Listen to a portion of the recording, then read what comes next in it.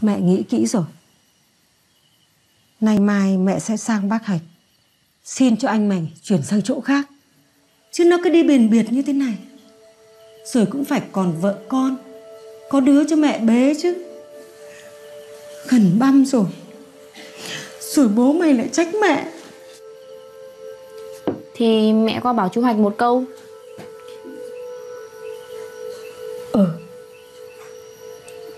Đằng nào sang tháng cũng đến dỗ bố. Mẹ cũng qua mời chú ấy một câu Rồi đặt vấn đề luôn. Nhưng mẹ phải hỏi ý kiến anh trước đi nhá. Không anh lại bảo mẹ con mình tự ý Xen vào chuyện của nhà nước. Đời nào anh mày đồng ý? Cái thằng Y như bố mày Ngang như cua cả lượt. Anh con hơi bản lĩnh đấy nhá. À mẹ ơi Hồi chiều bà Xuyến bán nước ngoài đầu ngõ ấy. Lân la vào con hỏi chuyện anh Triều. Bà ấy sang nhà mình. Vâng. Bà hỏi những gì? Thì bà ấy hỏi Anh dạo này làm gì? Ở đâu? Thế con con trả lời như thế nào? Con cứ như lời mẹ dặn. Con bảo anh đang làm cửu vạn bên biên giới. Này Mẹ bảo này Không phải tự nhiên mà người ta vào nhà mình đâu. Con phải cảnh giác Bất cứ ai hỏi đến anh con Con cũng phải trả lời như thế. Nhớ không? Dạ. Biết đâu Bọn tội phạm Nó lại điều tra ngược lại anh con thì sao? Thì con cũng hiểu tính chất công việc của anh mà.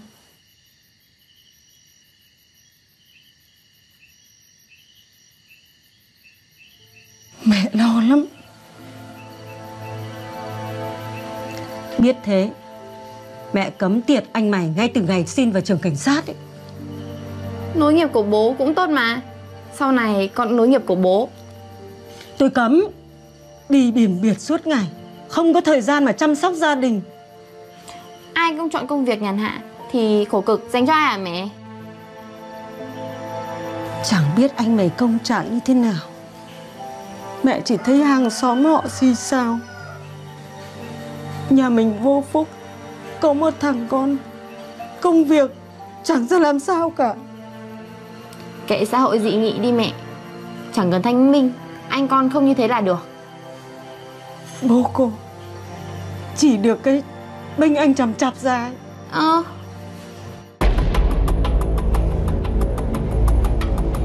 Anh à, thằng Trư hết tác dụng rồi. Có trả hàng lại cho biên phòng Mường Kim không anh?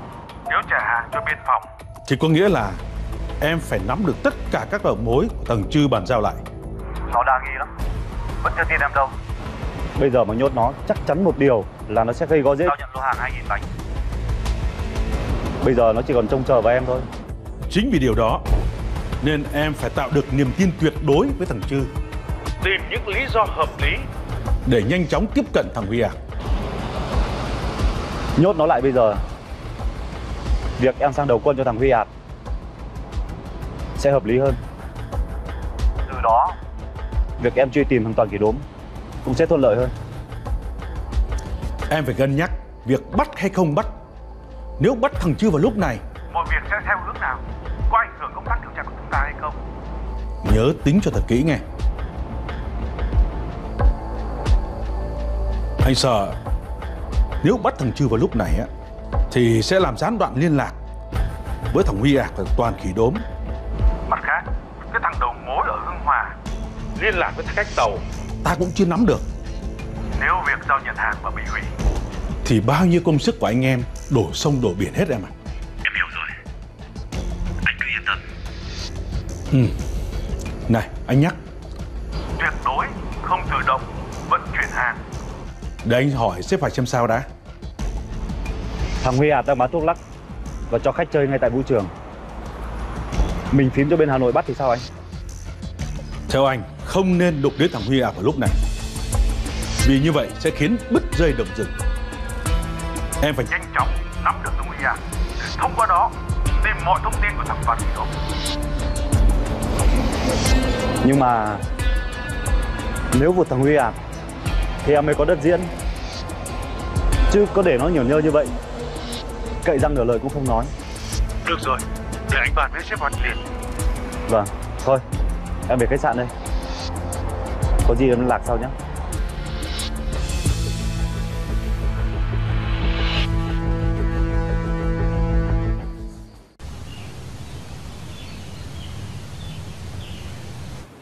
Nếu bây giờ ta bắt thằng Trư, anh thấy sao? Không nên. Bắt nó bây giờ là đứt xích Vụ 2.000 bánh coi như về mo Đúng vậy. Nếu thằng Trư mà tin tưởng thằng Triều, giao cho nó đi áp tải ma túy, thì chết. Mặt khác, nó mà vẫn không tin, lại âm thầm đi chuyển hàng, thì lại hỏng bét. Thằng Triều đề xuất sao Nó đề xuất là bắt thằng Trư. Khi đó, nó sẽ danh chính ngôn thuận để đầu quân cho thằng Huy Ạc. Từ đây, nó sẽ lần tìm ra thằng Toàn.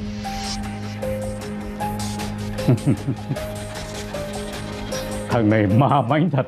Nó đã tính trước 4 năm bước. Được rồi. Tôi đồng ý cho bắt thằng Trư À, còn nữa, nó đề xuất là báo cho Hà Nội bắt thằng Huy Ạc luôn. Về tội bán thuốc lắc trong vũ trường.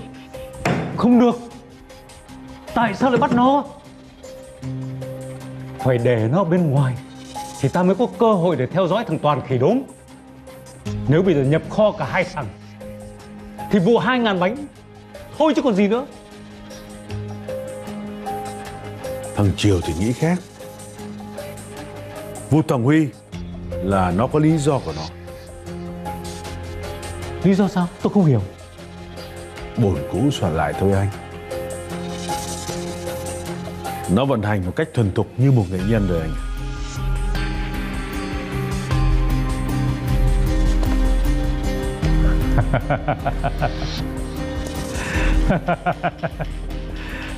Thằng này ghê thật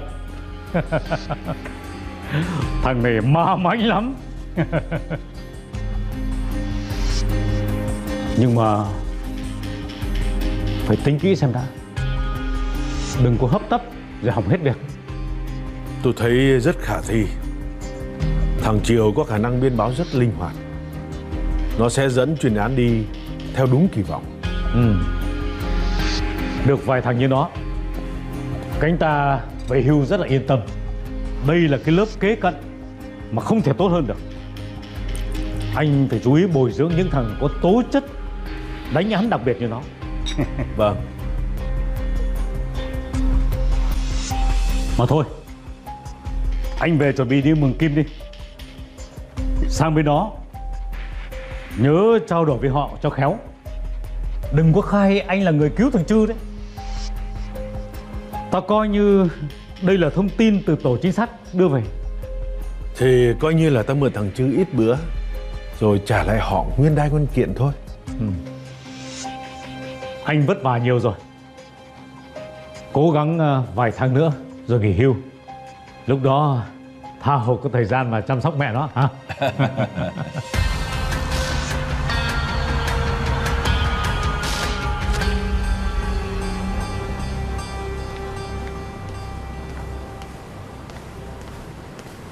Dạ em có chút việc nên đến muộn ạ. Không sao. Người nhà tạm mà. Ngồi đi Em xin phép. Dạ em mời anh chị. Dùng bữa đi. Dạ.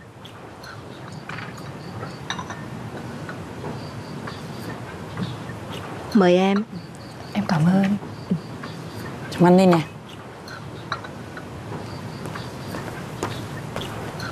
Thưa ông chủ, có ông Đức bên báo nay vào mai xin gặp ạ. Có lịch hẹn trước chưa? Chưa chị ạ Lão này ờ, không có quy tắc gì hết ấy. Em nghĩ mình nên đuổi hắn về đi. Tuy là không có lịch hẹn Nhưng em nghĩ mình nên gặp. Bởi vì có mấy lá thư kiện chúng ta đấy.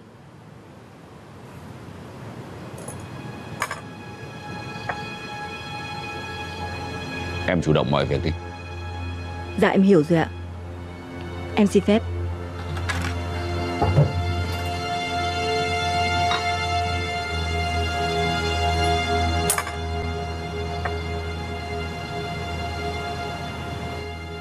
Chú xem giấy giới thiệu chưa? Dạ, em xem rồi ạ. Thấy bảo là cử xếp Hà đi Mường Kim. Đi Mường Kim? Vâng. Thế lên đấy vào đâu nhỉ? Vào làm việc với biên phòng tỉnh. Biên phòng tỉnh à? Hmm. Cuối tuần vừa rồi Không học ban chuyên án Anh ơi, chuyện kia thế nào rồi ạ? Có họp xét kỷ luật không ạ? Không ăn thua Lão Hoạch đỡ hết cho chúng nó Sao lại thế được ạ? Anh lên hỏi Lão Hoạch ấy Lão ấy đang bực mình lắm về cái vụ này đấy Mà nghe đâu định cho thanh tra vào cuộc tìm ra Đứa nào viết đơn Đuổi khỏi ngành luôn Thế liệu có bị làm sao không anh?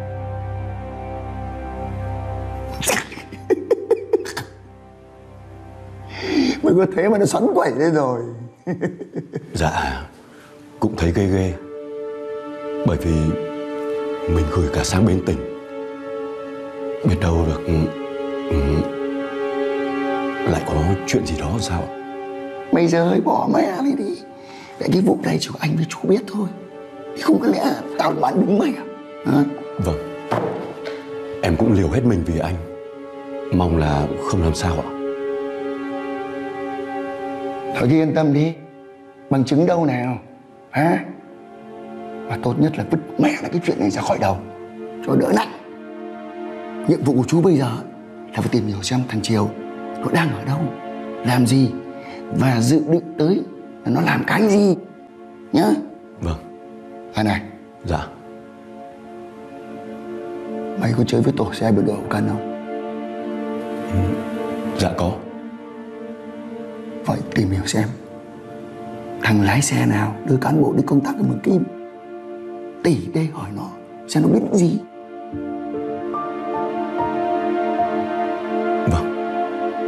Chuyện này Hay đấy Mà lại không ai biết.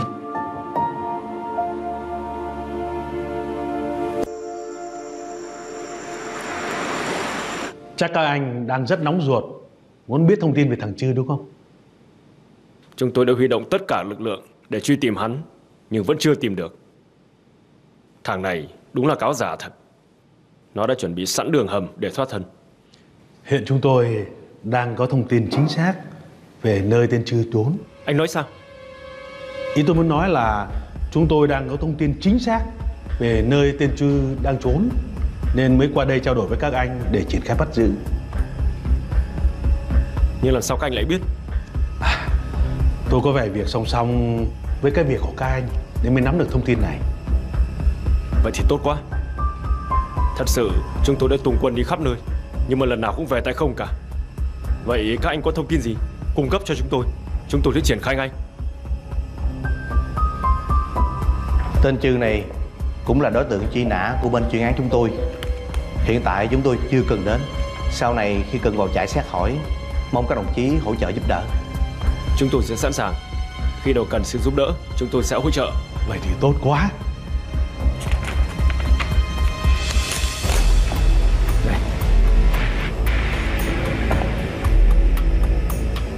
Đồng chí yên tâm Người của tôi sẽ bám sát tên Trư Nếu có thông tin gì mới Chúng tôi sẽ báo cáo các đồng chí ngay Cảm ơn đồng chí.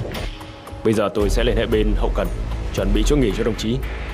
Sẵn dịp thì mời hai đồng chí ở lại dùng cơm trưa với đơn vị luôn. Cảm ơn đồng chí.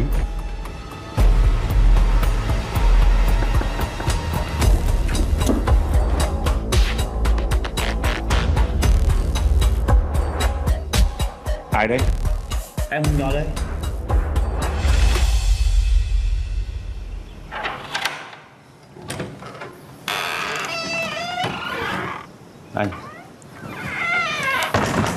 Mày không đi đâu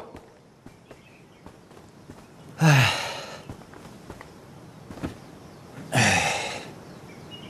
Thì tối em vẫn qua cho anh Huy Hạc Nhưng ban ngày không dám lạng quạng ra đường anh ạ Nó bắt được thì chết Anh vào đây có buồn không? Bột con mẹ gì Tuổi của tao Đâu có nhu cầu nhí nhố như chúng mày Hiện tại bây giờ có chỗ ăn chỗ ở như thế này là tốt lắm rồi. Mấy con hàng hôm trước anh Huy Hạt đưa, anh chán chưa? Em bảo đổi con khác. Thôi, khi nào đổi tao nói. Chắc em xin anh cho đi chơi xa một thời gian. Chứ ở đây cuồng chân quá. Mày định đi đâu? Em tính qua Cam. Chỗ mấy thằng bạn em bên đấy làm sòng bài. Nó rủ em qua chơi suốt mà chưa có thời gian. Mày chờ thêm thời gian đi. Hàng của tao sắp về rồi. Mà tao ấy, lại đang bị săn. Chúng nó chưa biết mặt mày. Cho nên mày thay tao điều hành vụ này nhé. Tao chỉ có thể ở đây điều khiển từ xa thôi.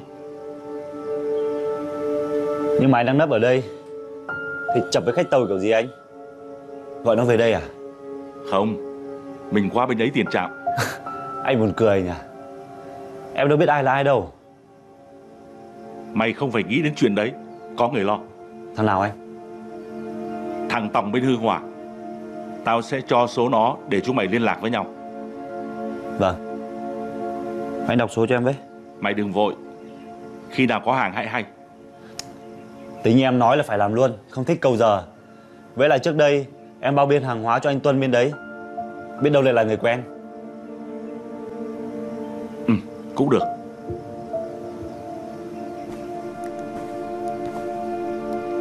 Số nó. Dạ.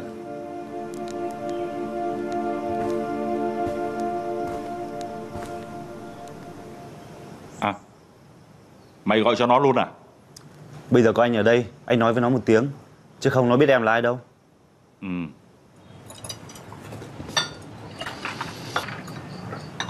Alo? Cái gì? Không rõ nào? Em của anh Trư Này Nói với anh Trư một tiếng nhá Tao là Trư đây. Này. Số này là số của Hùng Nhọ. Mày lưu vào nhé Có việc cần nó gọi cho mày.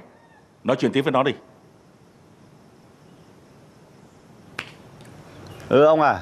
Ngày trước tôi làm bao biên hàng hóa cho anh Tuân ở bên đấy mà. Tôi gặp ông chưa nhỉ? Chắc là chưa. Lúc nào gặp sẽ biết. Thế thì lưu số tôi vào nhá. Lúc nào cần tôi gọi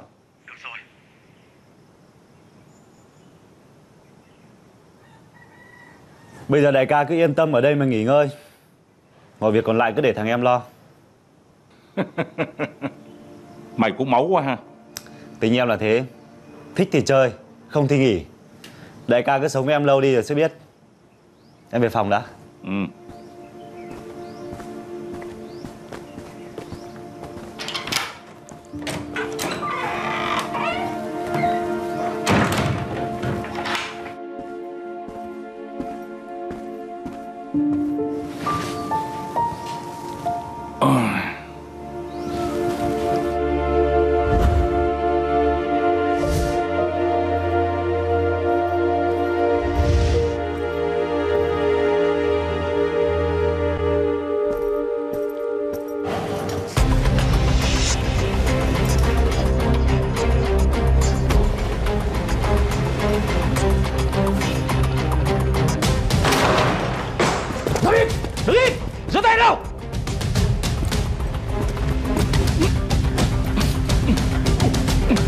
Chứ! Ông đã bị bắt! Họ chứ, trốn giỏi quá nhỉ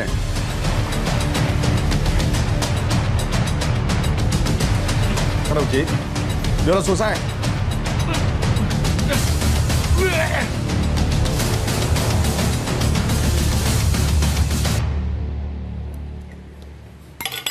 Ăn nhanh đi, còn về vũ trường nữa. Tối nay thứ bảy chắc đông khách đấy. Tối em đón anh Trư qua chơi Chứ để anh ở khách sạn một mình Cuồng chân cuồng tay Lão chư già rồi, lại có tuổi. Chắc là không hợp mấy chỗ ồn ào đâu. Chỉ được cái ham gái. Dẻo dài lắm. Đại ca em chơi thuốc Nên khoản này chắc lắm Lúc sáng trước khi qua đây Sang phòng Thấy đang kẹp với hai em Ngon Anh bái phục lão luôn. Tối hôm qua là hai em mới đó. Rau lạ cá tươi Thế nó mới sướng. Còn mày Anh thấy chán quá. Mấy lần anh giới thiệu mấy em cho mày Con nào mày cũng không chịu. Này Hay là Trên bảo dưới không nghe. Hồi nhỏ bị quái bị Chạy hậu. Cho nên là Súng ống không ngon lắm. Với lại có học võ Cho nên khoản đấy em không thiết tha mấy. Thật là tệ. Thiếu cái thứ đó Mày sống ra để làm gì? Alo? Cái gì? Bị bắt rồi à? Bọn nào bắt? Được rồi. Tao về liền. Ai bị bắt rồi anh? Lão Trư. Anh Trư bị bắt á? Ừ Là ai bắt à? Bị bọn biên phòng bắt Chết mày